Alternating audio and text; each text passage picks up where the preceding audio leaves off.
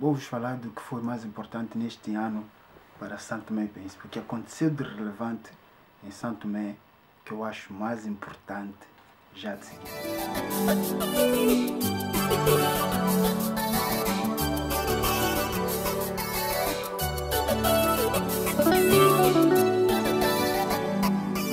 Este ano, para mim, o que marcou São Tomé e Príncipe foi a eleição de Patrício Trivada, ou seja, a eleição do ADI, a vitória do ADI uh,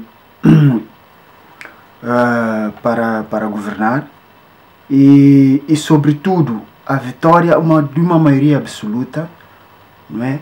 como se fosse uma insistência do povo. O povo insistiu que fosse o ADI a governar e deu uma maioria absoluta para que o ADI, para que o ADI pudesse governar. Infelizmente, no meu ponto de vista, infelizmente, a pessoa indicada para ser primeiro-ministro, Patrício Trovada, é uma pessoa que, embora tendo, no meu ponto de vista, capacidade para ser primeiro-ministro, capacidade para fazer coisas em Santo Tomé, é, tem, tem aquilo que nós todos já, já sabemos, uma suposta suspeita crime de lavagem de dinheiro. E, e que não foi esclarecida e nem está, e o Patrício Trovada pessoalmente não está minimamente interessado em esclarecer isso. Para mim, isso significa que uh, há alguma coisa aí, não é? Porque se o, o próprio Partido Trovada não quis esclarecer é porque ele sabe que pode, pode sair mal para o seu lado. Então resolveu fingir que não existe esse tipo de acusação. Mas para mim é uma mácula que fica. Bem, e eu acho que, tirando essa parte que, que é infeliz, o Pinto Costa foi praticamente obrigado com medo, uh, penso eu, com medo de, de que o povo não se voltasse contra ele, não é? Pinto Costa foi obrigado a ter que aceitar o, o, o Patrício Tavares como primeiro-ministro. Patrício Tavares preparou tudo, prim, assim, primeiro foi, uh, tomou posse como, como deputado, uh, certamente para adquirir imunidade, etc., e depois é que aceitou ser primeiro-ministro, ou seja, imaginemos se ele, se ele cai, né? se o governo cai, ele vai ser sempre deputado, vai ter sempre imunidade. Né? Portanto, eu acho que aí há uma, há um, há um, há uma preparação, há um meticulosa e cautelosa sobre tudo isso. Infelizmente, fico, fico muito triste porque ninguém mais falou do assunto, as pessoas fingiram que esse assunto não existe, fingiram que isso não é importante. Eu acho que isso é muito importante. Um, como eu já disse em alguns fóruns de, alguns fóruns de redes sociais, é, para mim, se quisermos, como Patrício Fada mesmo disse, que queremos é umas instituições fortes.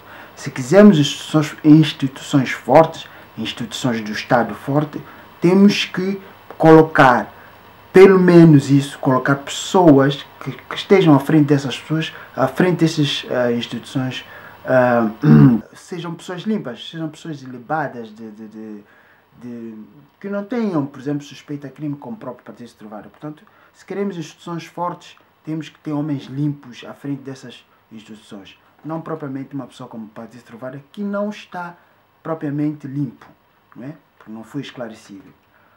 Bem, para não estarem aqui a dizer que eu estou sempre a bater na mesma tecla, que eu acho que é importante, por isso é que eu volto sempre a bater, para não estarem a dizer que eu quero provocar guerra, quero quero, em vez de, de, de avançar e estou a provocar guerra, por que, é que eu não condeno as outras pessoas? Eu acho que, neste momento, uma vez que nós aceitamos o Patrício Trovada como primeiro-ministro, não é? tendo um caso, uma suspeita crime sobre ele, nós aceitamos como primeiro-ministro, acho que devemos fazer, começar estaca zero. Vamos esquecer o caso uh, eh, STP Trading, arroz podre, GGA, vamos esquecer tudo isso. Recentemente eu vi um, uma notícia que dizia que Patrício Servada vai, mandou investigar o desaparecimento arroz. Esqueçamos tudo isso. Esqueçamos tudo isso porque o próprio Patrício Servada não tem moral para fazer esse tipo de coisa. Portanto, vamos esquecer todos os casos de corrupção, vamos começar de zero. Esta é a minha opinião.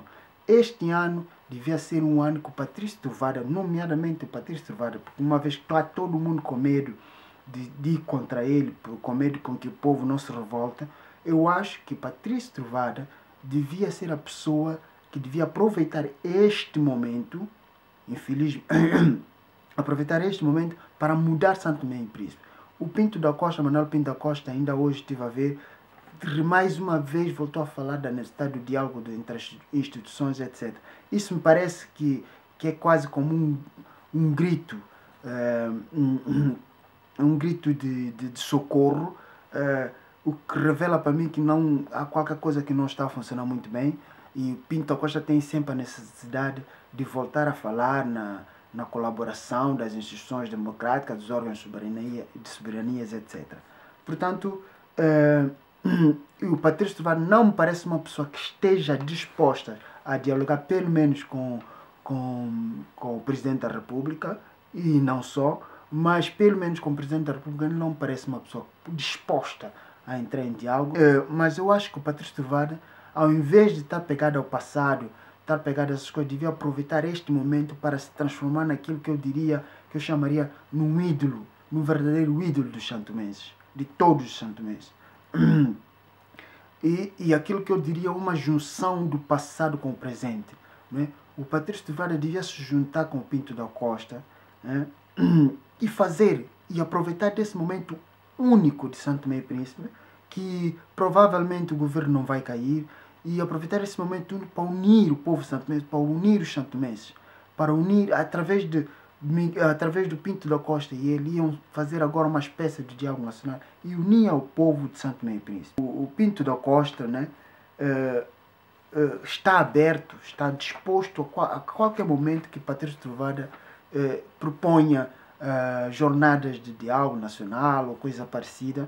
Não tem que ser diálogo nacional, mas algo que seja desse, desse espírito, reforma da justiça. Eu acho que o Pinto da Costa estaria muito disposto, até porque ele se encontra uh, num período final do mandato e ele não certamente não gostaria que a sua imagem ficasse apagada nesse sentido. O, o, o Patrício Duarte devia aproveitar este momento para, para galvanizar a unidade nacional.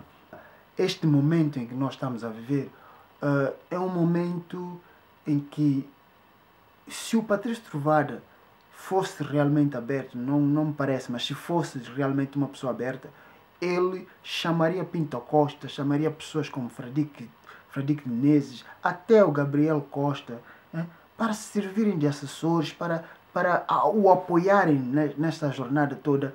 E, e todas aquelas pessoas que tiveram envolvidas no processo de, de, da reforma da justiça, como Filinto Costa Alegre, etc. Pessoas importantes do nosso, nosso meio sociais, social, devia chamar essas pessoas, uh, para colaborarem com as pessoas. Não, é, eu acho que estamos, estamos finalmente estamos a chegar numa uma etapa da, da nossa, da nossa uh, vida social, da vida social santomense, em que os mais velhos já estão a reformar-se, já estão a, já estão a, uh, quase que esforçadamente a ter que passar a pasta aos mais novos.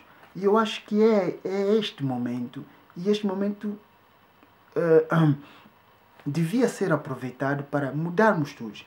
Não colocarmos o, o, os mais velhos atrás, pelo contrário, devíamos chamá-los porque eles possuem todas as experiências, devia chamá-los para colaborar, serem conselheiros, serem etc, ocuparem cargos internacionais, etc. O Pinto da Costa, se o Patrício Trovada fizesse uma boa colaboração com o Pinto Costa, podia até combinar com ele que que assim que terminasse o mandato tentavam colocá-lo num cargo internacional, a representar Santo Tomé, coisa parecida, assim como acontece com, com Miguel Trovada. E quem sabe, e quem sabe o próprio Manuel Pinto Costa seria uma pessoa que ia apoiar uh, uh, Patrício Trovada para ser próximo presidente da República, não é?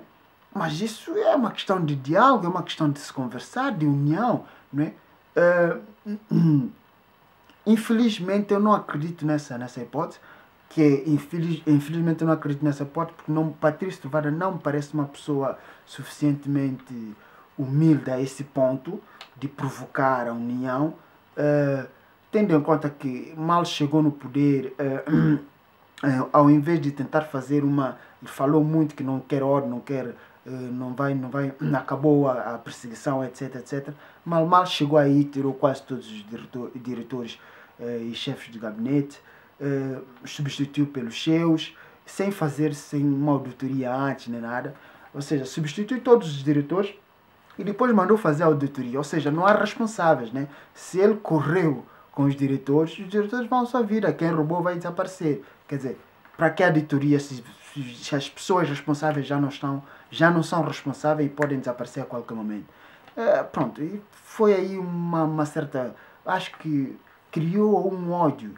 Uh, uh, Patrício Tavares criou um ódio, uh, parecendo que não criou, porque em Santo Tomé as pessoas quando saem uh, desta forma abrupta, sem, sem justificação, algumas delas sem justificação e tudo, um, ficam magoadas. Ficam magoadas e, e, e, e, esperam o momento da vingança. Né?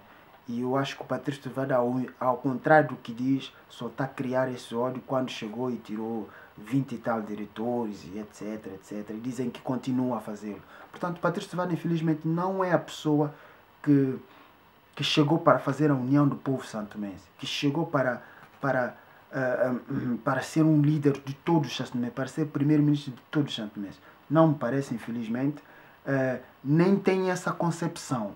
Nem tem essa concepção. Infelizmente, o Patrício Tavares devia aproveitar esse momento porque ele tem tudo ao seu favor. Maioria absoluta, tem os, os partidos políticos todos da oposição, o presidente da República com medo de ir contra ele por causa da maioria absoluta. Portanto, era ele que devia aproveitar e abraçar as pessoas e, e avançar.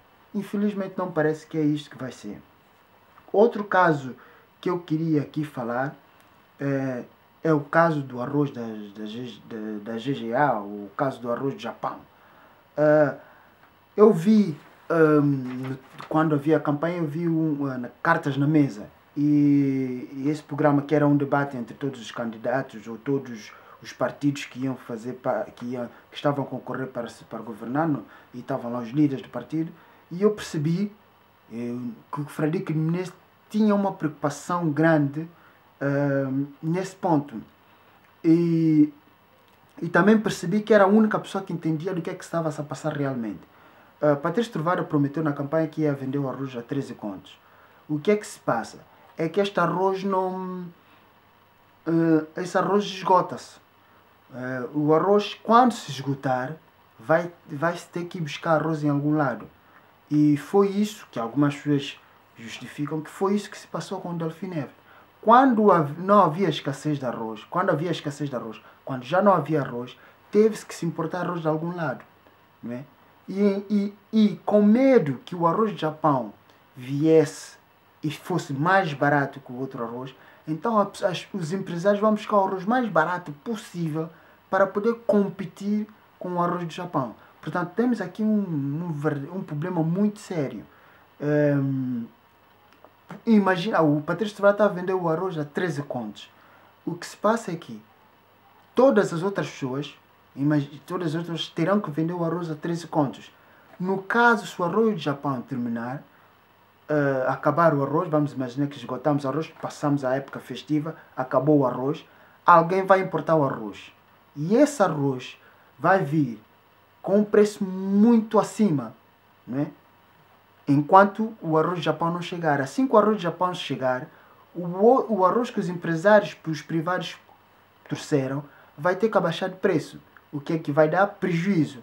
Então os empresários não vão arriscar em trazer arroz para Santo Tomé. Não é? O que é que vamos ter? O que vai se passar é que vamos ter longos períodos durante o ano de ficar sem arroz. E nós sabemos como a população santomense consome o arroz.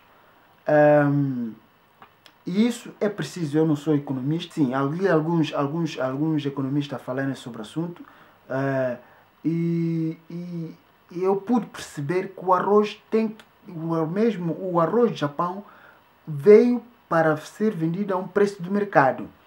O dinheiro, o lucro que se tira da venda deste arroz é que é para servir a população. Não é o arroz que veio para ser dado à população. O arroz veio para ser vendido e ser utilizado lucro para apoios sociais, para, para causas sociais. Não é? Bem, mas parece que esse arroz está a servir de campanha. Infelizmente as pessoas são assim. Estamos a aproveitar, aproveitamos tudo para, para ganhar mais um voto. Uh, segundo pude perceber com os economistas, a melhor forma de resolver a questão é pôr o arroz num preço uh, que possa ser compatível no caso dos empresários terem que importar arroz. Né? Portanto, uh, não pode ser tão baixo, nem pode ser muito alto. Tem que ser um peixe compatível para que se um empresário tiver que trazer o arroz de, de trazer o arroz para para Santo Tomé, ele não tem não vai perder dinheiro com isto, né?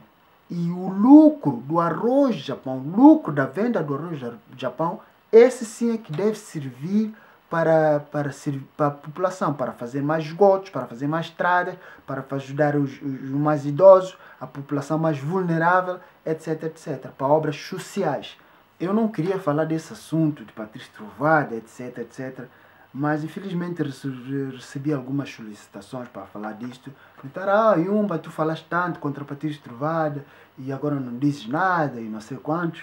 E qual é a tua opinião? Bem, epá, eu não queria, eu não queria, não queria não queria falar sobre esse assunto porque eu, porque eu acho que eu já expliquei tudo que tinha que explicar, já escrevi tudo que tinha que, explicar, que dizer em relação ao Patrícia Trevada, mas infelizmente, pronto, eu fiz aqui um resumo rápido. Eu acho que a coisa mais importante que, que aconteceu foi essa, é, foi a lição que o povo deu aos políticos, não é? O mais importante, e que nós devemos agora respeitar quem ganha as eleições. Quem ganha as eleições devemos respeitar. Sobre pena de virmos a perder ou sobre pena da pessoa que nós que ganhou com maioria relativa possa vir a ganhar com maioria absoluta. Então é preciso ter cuidado, é preciso deixarmos governar quem ganha as eleições. Acho que isso é uma lição que nós aprendemos esse ano, que todos os santomenses aprenderam esse ano. Deixar governar quem ganha as eleições. Né? Um, basicamente é isso, meus senhores. Queria desejar a todos um Feliz Natal. Uh, queria desejar a todos um feliz ano novo, que, que tudo seja diferente do, do, do, do ano passado, ou seja, diferente para melhor. Beijos e abraços a todos os meus familiares em Santo Tomé, que eventualmente estejam a ver isso. Uh, em breve estarei aí. Uh, a partir de agora eu vou começar a fazer uh, vídeos. Eu já comecei a fazer, mas só no Facebook. Vou começar a colocar vídeos de outros, de, sobre temas mais da vida cotidiana, uh, do dia a dia. Uh, espero que vocês gostem. Uh, nos próximos dias vou colocar, já fiz alguns, coloquei no YouTube, no, no Facebook. Agora vou passar, a, vou colocar aqueles que eu já fiz no Facebook, vou colocar aqui para diversificar-me mais, porque tenho dito que eu só falo de política, então agora vou falar de outras coisas da vida cotidiana, das relações pessoais, etc. As coisas que acontecem no nosso dia a dia. Um, e ver se fazemos alguma coisa diferente, de, se faça alguma coisa diferente do que tem feito até agora. Não é? Beijos e abraços. Façam valer o vosso dia, ou seja, o vosso ano novo.